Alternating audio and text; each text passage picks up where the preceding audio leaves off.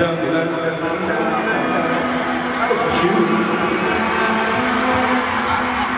you so much for having us. Thank you so much.